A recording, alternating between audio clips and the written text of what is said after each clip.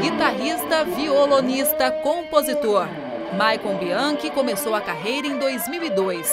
O músico que nasceu em São Carlos, interior de São Paulo, faz um show diferenciado de rock instrumental. O objetivo é divulgar a guitarra no Brasil.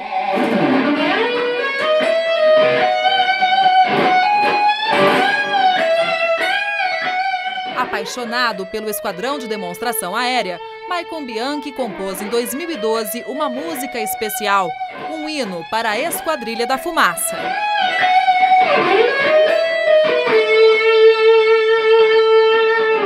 É uma homenagem né, de coração para eles. É, é, um hino, né, na verdade, para eles, assim, com uma melodia bem marcante, que tem totalmente a ver com a proposta de trabalho deles, né? Que justamente desse som radical, né? Tem, tem partes da música radicais, tem partes mais tranquilas, né? Então eu tentei é, intercalar isso para que fique, assim, vamos dizer, o espetáculo, né? Onde você tem várias partes do espetáculo que tem mais aquela, parte de impacto e a parte de emoção, como tipo do coração que eles fazem, né? Então a esquadrilha mexe com isso, né?